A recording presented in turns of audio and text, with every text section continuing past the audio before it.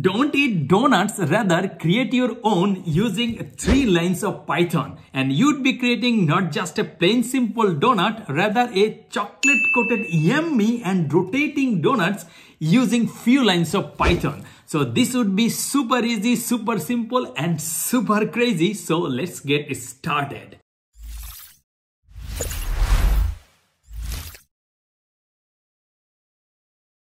Before getting into the detail, please please like this video and subscribe to this channel. Otherwise, grandma will eat all of your donuts and force you to have a donut maker. To get started with this project, you will definitely need Python installed in your computer and a Python code editor called PyCharm. And once the PyCharm is ready, all you have to do is to click on this new project button and give a meaningful fancy name to your projects. And in our case, we are creating a rotating donut. So we will be typing rotating dash donut and then press enter. And it will take a few seconds for the PyCharm to get started. And in the meantime, we will go to our secret knowledge source and which is called Google. And we will go to the Google and search for something called Python VPython. So once we search for it, you will get a lot of different resources and one of them is PYPI. This is like PIP and you go there and click on this tiny button and then come back to a PyCharm and if you want a clean slate, you can press Ctrl A and backspace to get rid of all this stuff here and then click on this terminal.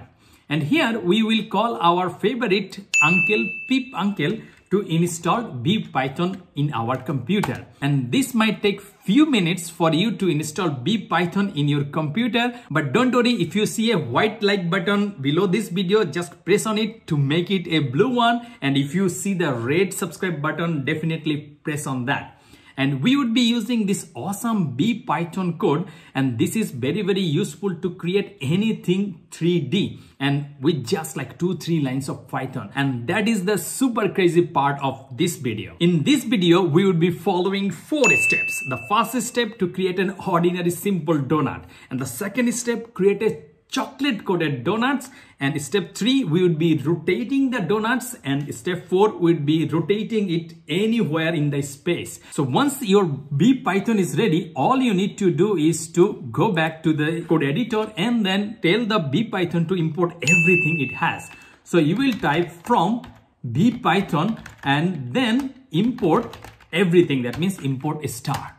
And after that only thing you need to write is called ring Ring is something like a circle or if you look into this, this is actually a ring. It's a circle, right?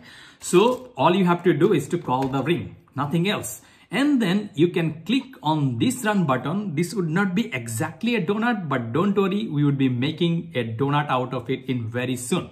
So just click on this button and something might pop up to give you some permission and if you want to give permission just allow access. Or if you don't want to allow access uh, for the python to run some local network then ignore it press cancel or something you want to do. But once you uh, click on this run button and then in the browser you will see something like this.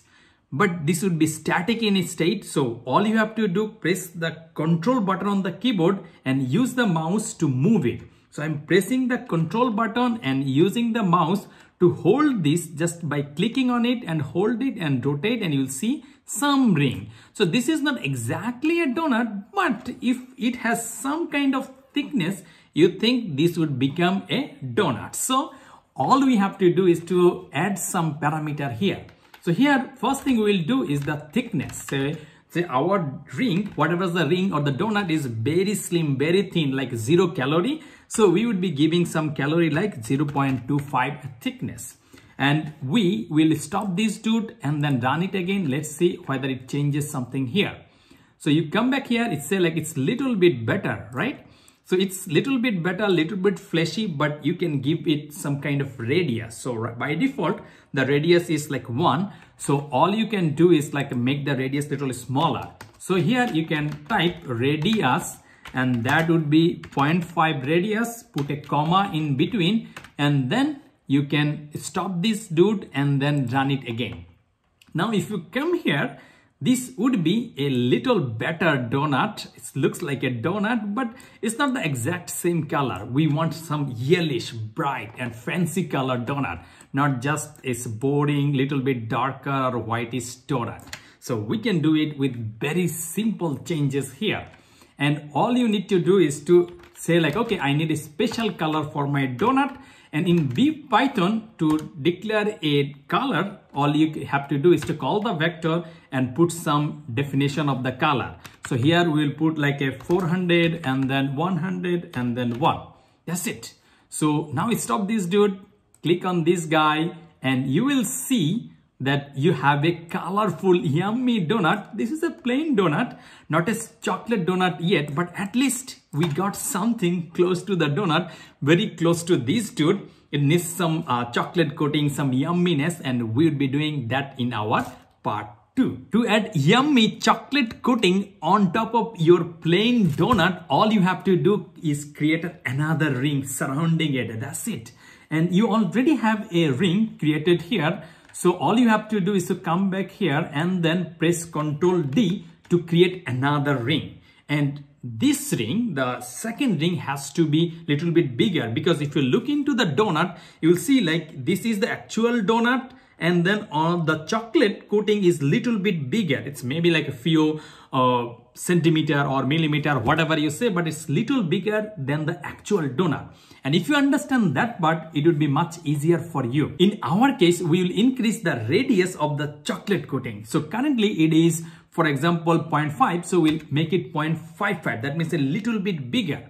And the color wise, we will make it a chocolate color because this is some different color that you can see.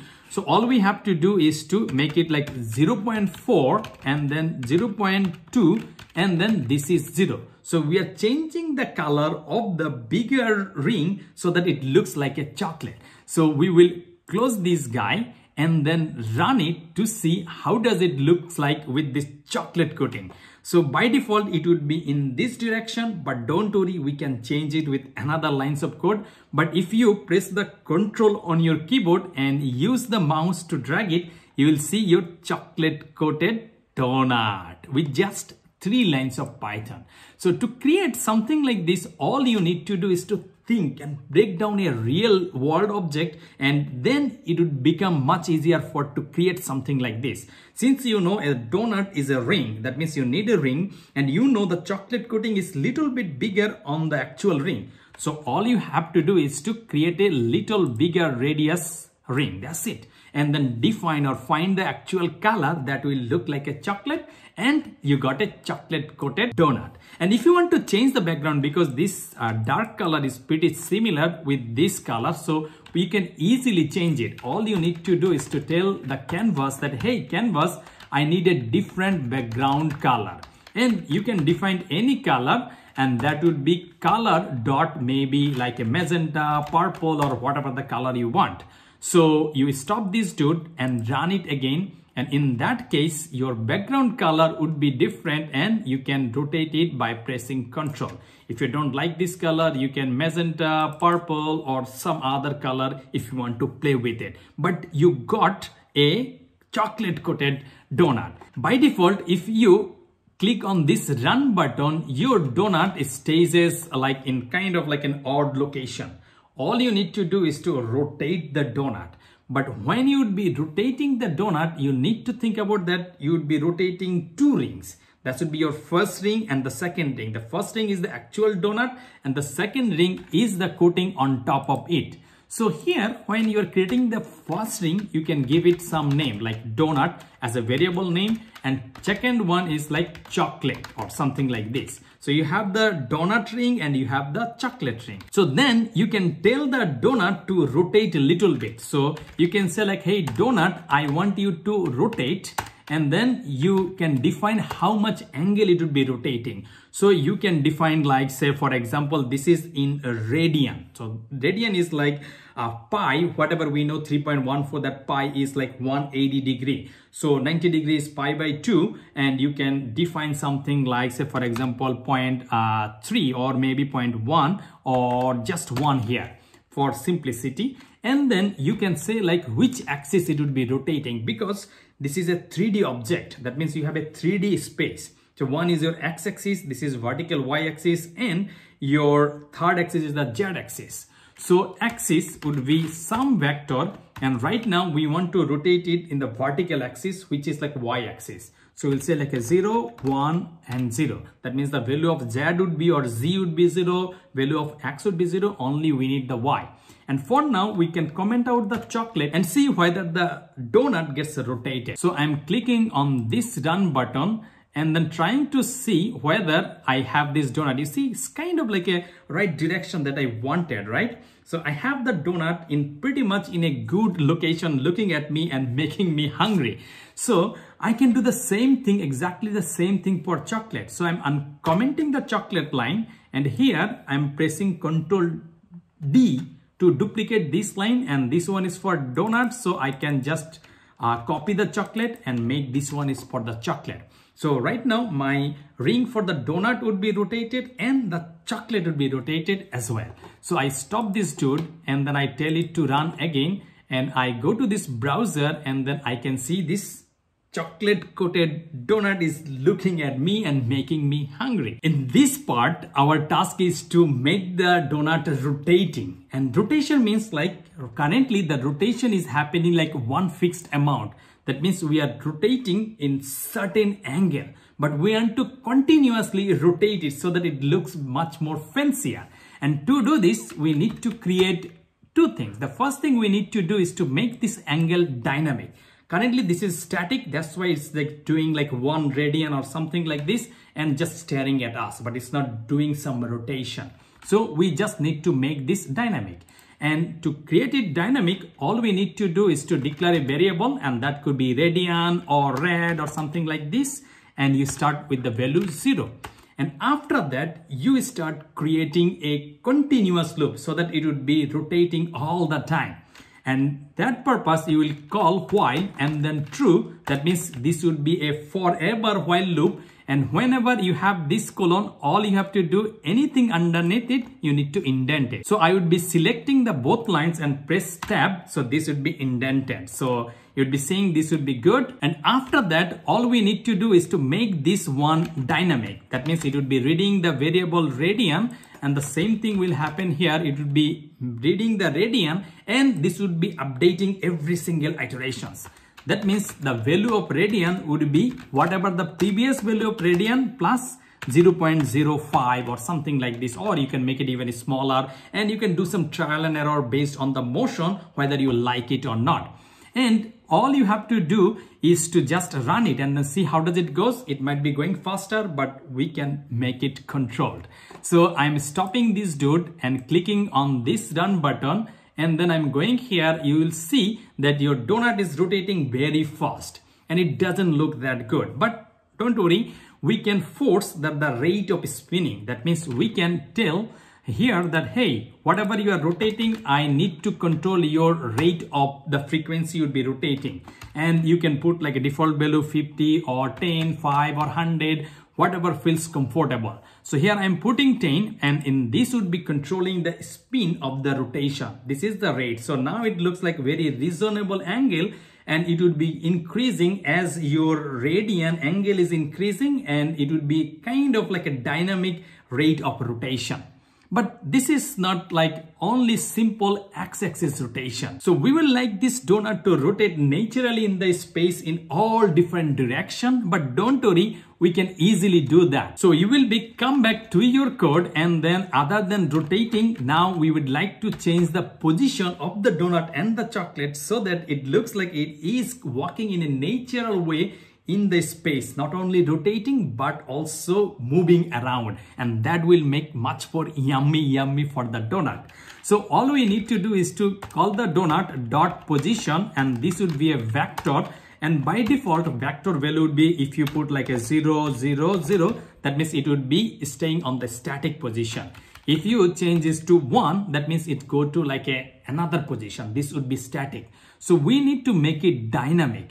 And for now, say for example, we comment out the chocolate and then come back here, only play with the donut position and we say like, let's play with the first one. So we make it some kind of gradient of cos or sine because we know sine wave goes like this cos wave goes like this so it's little bit offset and if we do that that means like x and y axis would be little bit fun natural movement. So we can say like a cos and then radian and then see how does the single donut moves because we commented out the chocolate. So i close this dude click on this run button and then we will go here and we'll see that our donut is like moving right in some rate. So it's a little bit slow, but don't worry. If you want to increase the rate, you can increase the rate here. That other than 0.05, you can change it like a 0.03 or 0.05. That means the change of the radiant would be increased. So we will click on this dude again and now we will see that movement speed goes and it goes little bit faster. So this is just only one direction, x-axis is rotating, but we are not doing the y-axis. And even if you want the x-axis to be faster, all you need to do is to maybe multiply it, say like it needs to go three times, whatever the value. So in that case, it would be even faster. So I click on this dude and this becomes like much faster is going, right? It's much quicker. And right now it's only one axis, the x-axis. We want to rotate it in the y-axis as well. And to do so, all we need to do is to change this y-axis value. We can say like this would be sine and the value of uh, whatever the radian that is uh, increasing. So I'll stop this guy and then click on this. Now the donut not only moving in the x-axis you see, it's going to the vertical axis as well. And since we got some kind of rotation here, we can definitely do this for the chocolate. So I'm uncommenting the chocolate and here I would be copying the exact same line so that they stick together in the same path at the same time. And I press Ctrl D and I will do this for the chocolate flavor. I save this guy and I stop this dude click on the run button and come back. Now you'll see that your chocolate coated donut this yummy chocolate coated donuts is rotating in the space with its own natural path and giving you some flavor hey eat me eat me eat me so if you have just done so far you will see you didn't wrote a lot of code all you have written is just 10 lines of Python. You imported VPython, you created a canvas and you created a ring. Ring is your donut and you added a chocolate coating on top of it. And not only that, you made it rotating. So if you enjoyed this video up to this point, please, please like this video and subscribe to this channel. Otherwise, grandma will be hungry and she would be drinking coffee all night. So if you want some fancy virtual cup from the grandma, this would be virtual cup. Please, please subscribe to this channel. And if you want to learn more about Python, don't forget to check out our awesome app called Programming Hero. So if you are using a rich iPhone guy, you can go to the App Store and find this awesome app called Programming Hero. And if you go to an Android Play Store, you would be able to get the exact same app in the Google Play Store as well. That's all from this video. Don't forget to write some yummy, lovely, romantic and fancy comment below. And if you stick around, your grandma and I will see you in the next video with two yummy donuts.